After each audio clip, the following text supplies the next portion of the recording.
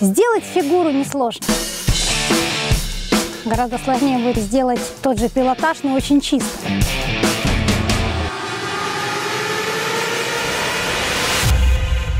Я же должен освоить фигуру, хотя бы одну, хотя бы маленькую.